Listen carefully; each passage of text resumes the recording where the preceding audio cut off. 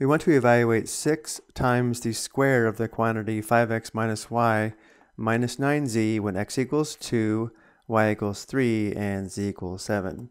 We begin by performing substitution. We substitute 2 for x, 3 for y, and 7 for z. And then we evaluate the expression following the order of operations. Performing the substitution, we have 6 times the square of the quantity 5 times x minus y, which gives us 5 times 2 minus 3. And then we have minus 9z, or minus 9 times z, which gives us minus 9 times 7. And now we evaluate the expression following the order of operations.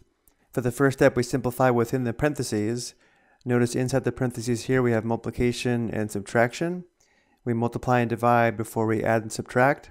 And therefore, the first step is to determine 5 times 2, which is 10, which gives us 6 times the square of the quantity 10 minus 3, minus 9 times 7. Still simplifying within the parentheses, 10 minus 3 is equal to 7, which gives us 6 times the square of 7 minus 9 times 7. The next step is to simplify the exponents, which means we simplify 7 squared, which is equal to 7 times 7, which is 49, which gives us 6 times 49 minus 9 times 7. The next step is to multiply and divide from left to right, which means in our case, the next step is to determine 6 times 49 and 9 times 7. 6 times 49 is equal to 294. And 9 times 7 is equal to 63. And of course, the last step is to determine the difference. 294 minus 63 is equal to 231.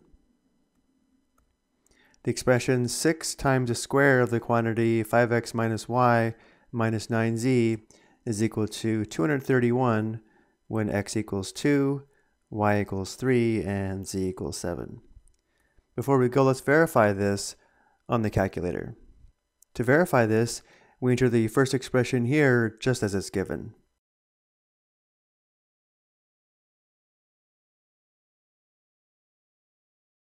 which does give us 231.